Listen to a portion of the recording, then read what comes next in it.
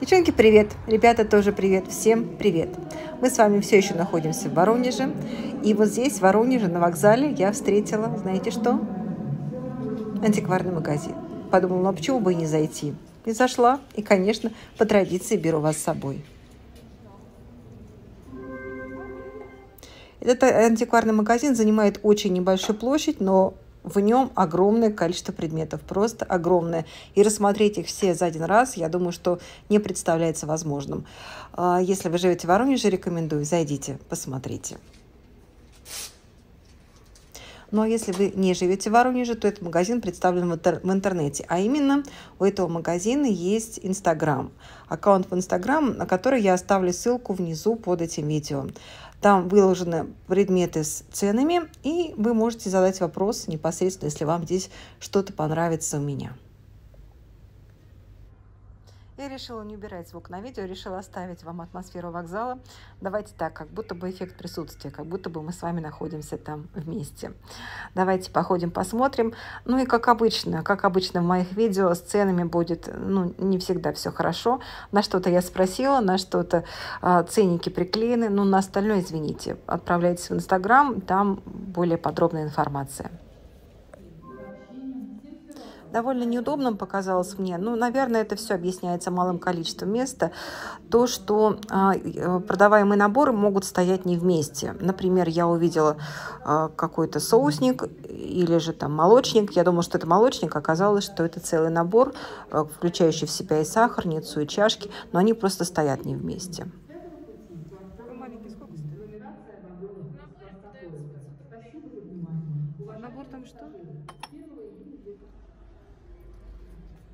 Ну а там, где есть ценники, вы можете просто остановить видео, посмотреть количество предметов и цену за сервис.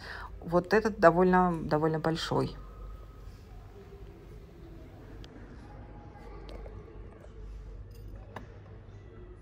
Вот это красивая, это чашка или это пара? Это сервис. Две с половиной тысячи стоит. А, где-то есть, чай, Уважаемые пассажиры, Здесь я на некоторые предметы цену спрашивала, поэтому постараюсь вам сейчас по памяти назвать. Надеюсь, что я ничего не перепутала. Вот смотрите, голубая вот эта стеклянная красивая ажурная вазочка стоила 1000 рублей.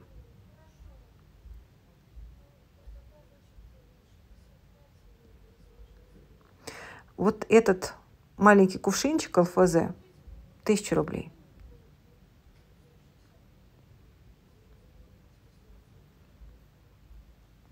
Вот эти бокалы красивищие, по-моему, 2000 за 5 штук. По-моему, так. Надеюсь, я ничего не путаю. Вот этот соусник, по-моему, 400 рублей. Мне он очень понравился своей формой, но декор какой-то очень скромненький, а форма прям хороша. И он тяжелый, увесистый такой.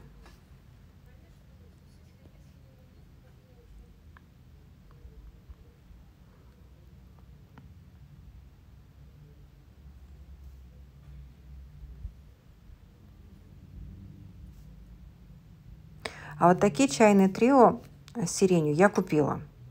Я купила а, две, а, два чайных трио, а, получается, за тысячу рублей. Ну, по 500 рублей каждая. Потом как-нибудь покажу вам из дома. Помою, приведу в порядок и покажу.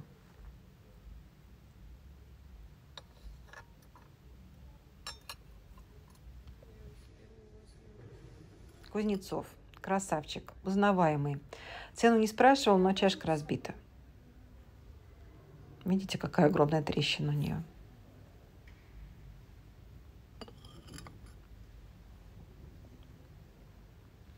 Очень знакомые нам формы чашки ЛФЗ. Большое количество подстаканников. Не спрашивала цену, не знаю. Вот та лампа. Сейчас я спрошу цену, вы услышите.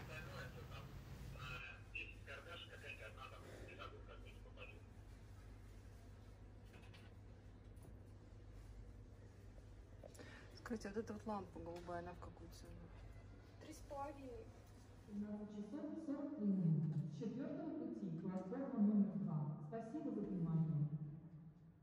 А мне нравится, потому что можно что-нибудь там покопаться, купить вообще за копейки. Просто Москва интереснее. Москва, Питер. Да, в Питере там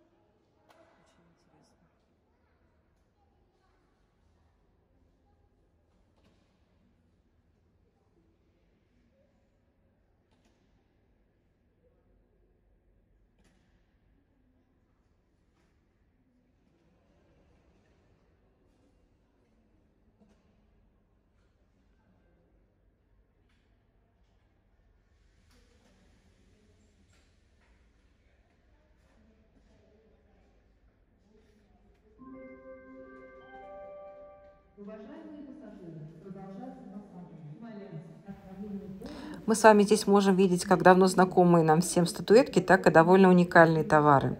Сейчас я вам покажу. Вот эта тарелка со звездой, видите? Ей, наверное, я думаю, что лет 100. Я спросила цену, она стоит 4000. А вот эти статуэтки с мальчиками, я тоже спросила цену, они были по 8.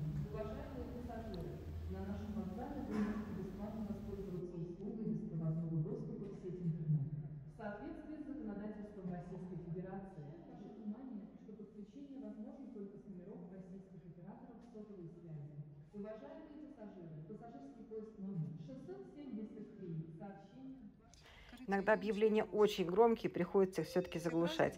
Я спросила цену на елочные игрушки, в частности, на вот этого вот мальчика. Он стоил 500 рублей. Помните, я на блошином рынке купила такого за 200. Ну, вот, мне тогда в прошлый раз повезло.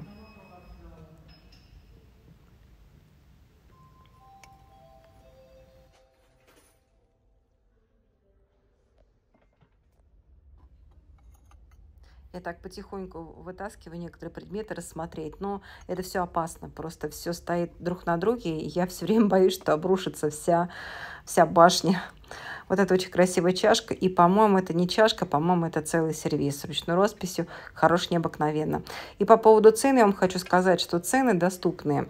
Конечно, они выше, чем на блошином рынке, но они э, гораздо ниже, чем во многих антикварных магазинах. Поэтому рекомендую. Зайдите, посмотрите.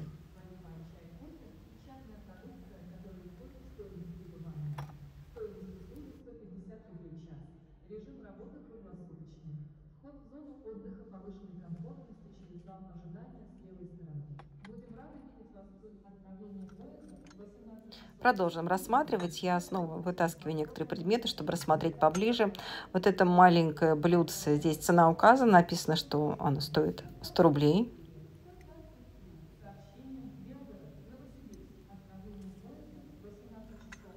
Вот это две, я думаю, что это, наверное, пепельница, раз есть такие выемки под сигарету. Симпатичные, две штуки было.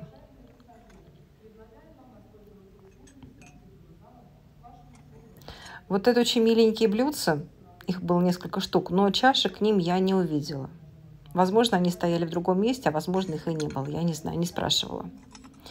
А вот от этой чашки я не нашла блюдца. Чашка очень красивая, тончайшая, легчайшая, очень хороша. Но без блюдца. Хотя, может быть, оно где-то и было. А вот эта чашка точно была одна, я спрашивала, она стоит 200 рублей, но у нее не было ни блюдца, ни тарелки, она была в одиночестве, гордом, такая красивая. А вот этот сервис полностью соответствующий моему вкусу, строгий, лаконичный, элегантный, сдержанный, белый, синий, золотой, очень красивый, нравится мне. Картин здесь собрано довольно много, но вот рассмотреть их э, не совсем просто. Они составлены в разных местах. Э, что-то сверху, что-то внизу, что-то э, стопками. И тут, наверное, если только задаться целью, что я хочу купить картину, прийти и целенаправленно все рассматривать, тогда, наверное, так. Но картин много. А, разной тематики, в разных техниках. Я думаю, что подобрать при желании можно на любой вкус.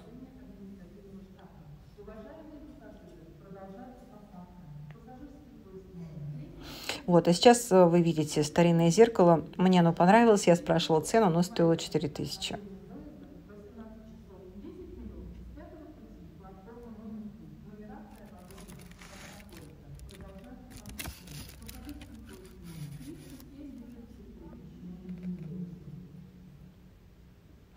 знаете, я, пожалуй, оставлю попытки рассмотреть картины до следующего раза, до более подходящего случая. А сейчас я попрошу, чтобы нам с вами показали бижутерию. Давайте лучше посмотрим бижутерию.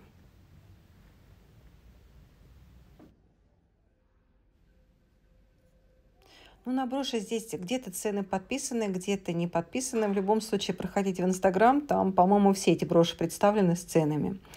Но если я ничего не путаю, то, по-моему, минимальная цена, что я видела, кажется, 400 рублей, и максимальная, что я видела, по-моему, 2000. Ну, вот как-то так в этих пределах. Это, конечно, не блошиный рынок, но, с другой стороны, я встречала и гораздо дороже. А броши здесь есть и довольно интересные. Мне некоторые очень даже понравились. Правда, я ничего не купила.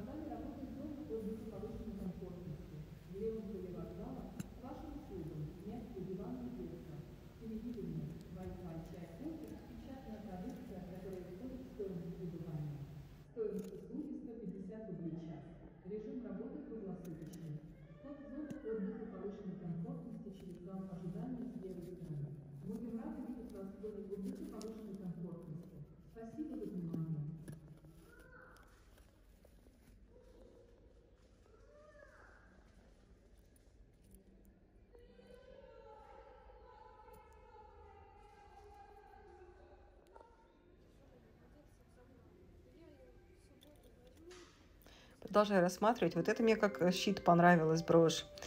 И еще мне одна понравилась, сейчас вы видите, с, гранат, с гранатовым стеклом. Я спросила цену, вот это. Э, Вот не помню, либо 700, либо 800 рублей. Но согласитесь, что для такой броши эта цена очень даже доступная.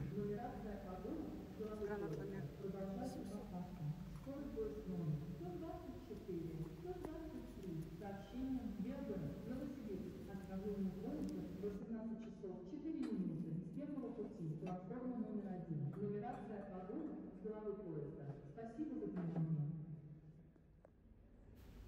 Еще из бижутерии здесь были колечки, сережки, но я для, для себя ничего интересного, привлекательного не нашла. Помимо этого еще было то, в чем я совершенно не разбираюсь, а именно значки, какие-то монеты. А, Кроме этого, еще большое количество книг. В общем, много всего, что можно очень долго рассматривать. Что сюда нужно, конечно, приходить не на, не на полчаса, как я здесь провела, а на гораздо большее время.